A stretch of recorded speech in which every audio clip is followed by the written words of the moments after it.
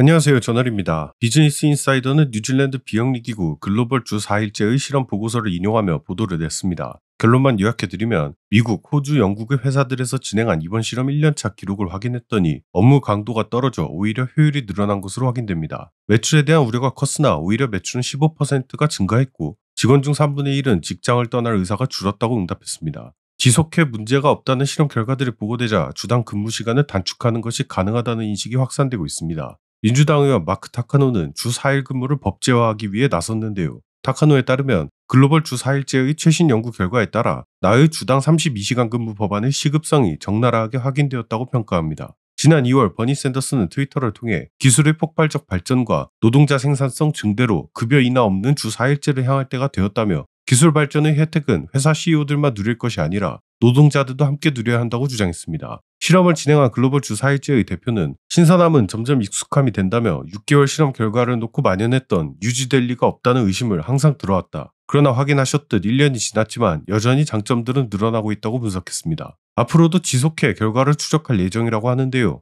물론 모든 직종에 걸쳐 적용될 수는 없겠지만 대한민국도 건설적인 논의가 필요해 보이긴 합니다. 여러분들은 어떻게 생각하시나요? 감사합니다.